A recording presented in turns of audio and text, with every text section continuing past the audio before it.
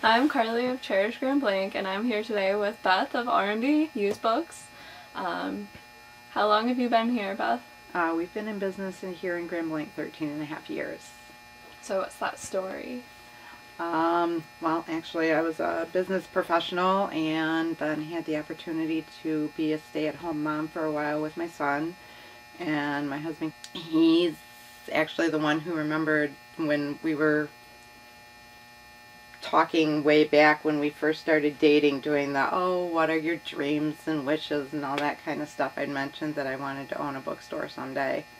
Um, and he remembered that and suggested that maybe to get me and my books out of the house, I take them and find a spot to lease and put the books on the wall. And he had this vision of me sitting, I think, in a little store with books on the wall, Aww. reading, Aww. watching the kid, and talking to people all day. And what makes your store unique?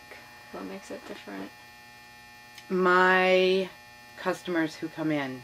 Um, each used bookstore in areas is uniquely put together by their customer base because the customer base is the um, demographic that provides the inventory.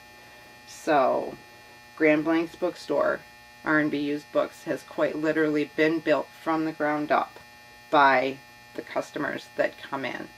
And I consider it their store. I I run the place. I put the books they bring in, in the, on the walls, but this is Grand Blanc's store.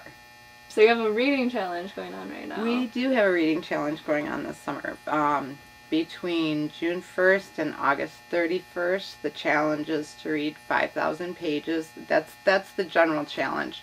Um, I'm reading 10,000 because I read for a living, so 5,000 is kind of cheating for me.